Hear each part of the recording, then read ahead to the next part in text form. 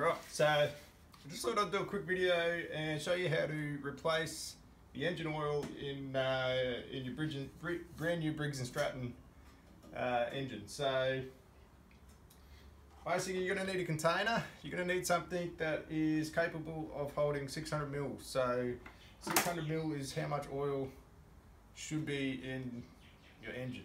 So just, yeah, remember that. Don't I, I did this once and my container wasn't big enough and I had oil going everywhere. Uh, there's a big patch on the ground here still from that. So uh, I'll put a rag underneath here just in case I've got any spillage. Uh, it soaks it up quickly. Um, so it's this is simple guys. Uh, uh, on the back of the engine here, so there'll be a, a um, oil inspection uh, port it's, it's generally a, a, yellow cap, so if you unscrew that, tip the mold back, all the oil's going to pour out that hole into, the, into your catch.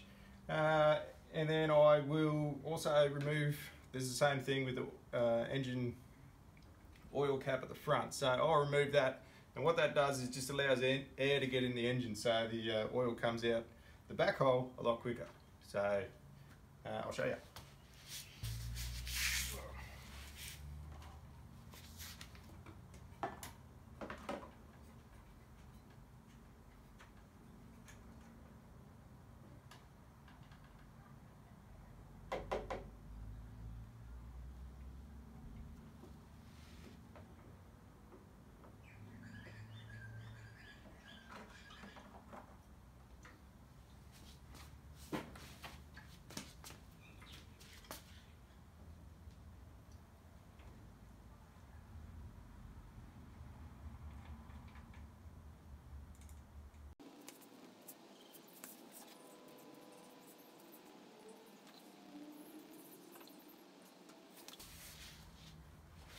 Okay, so I'll let that drain uh, for a minute or two.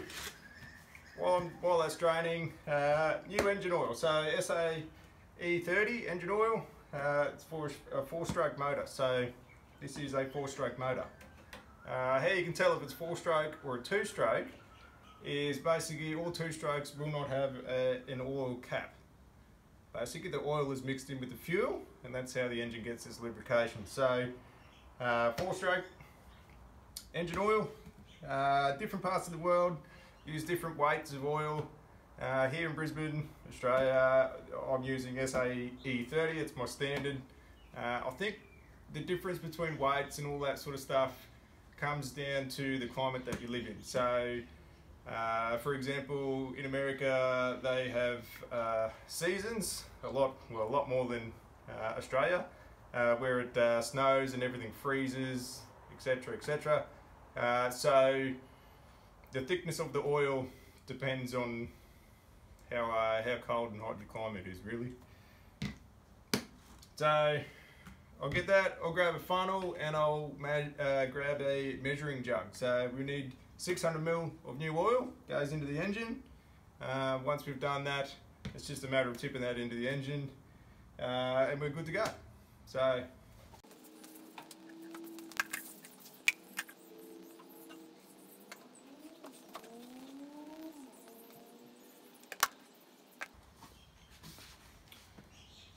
So I'll pop my rear oil cap in.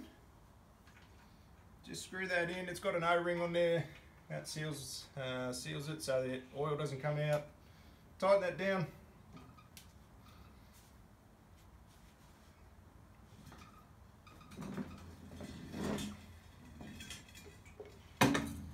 I will pour the new oil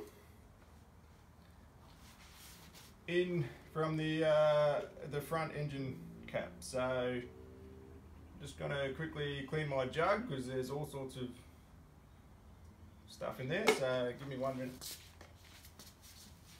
Okay, so clean jug, very important. You don't want to be introducing uh, any foreign materials into your engine. Uh, that could be catastrophic. So we'll open our new oil.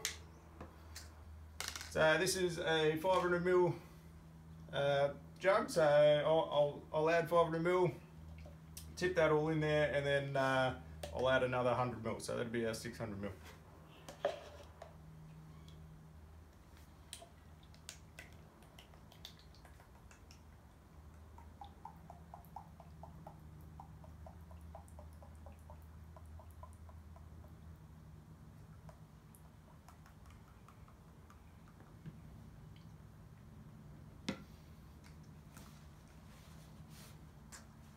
Funnel so we don't have spillage.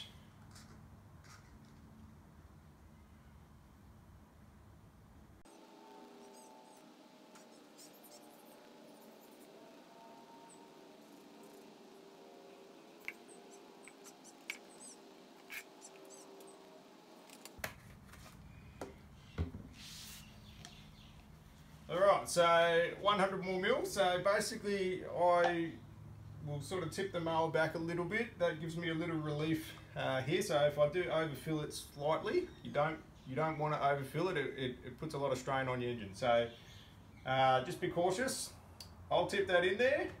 Basically, a good way of telling if you have overfilled it is when your engine's sitting flat. So currently it's not because uh, I've got my rear, uh, the front roller up a little bit so the engine's not flat.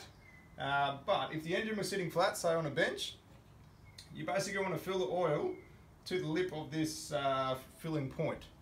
Um, if you overfill it, you'll take that off, you'll have oil going everywhere. You know that you've overfilled it. Um, basically that lip there is how they make the engine. If you put too much oil in there, it comes out. So uh, different motors, I think Hondas, Briggs, they're all different. So just make sure you check to see how much oil you need in your engine.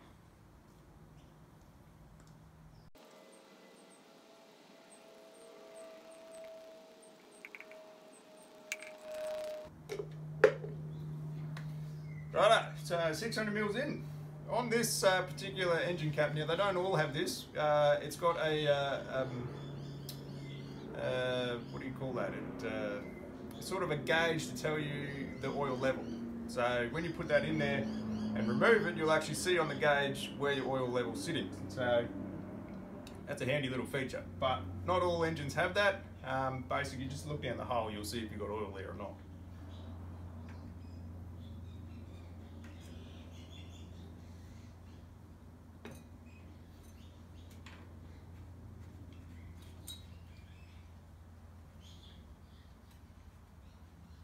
Tighten that bad boy up and let's go and start it.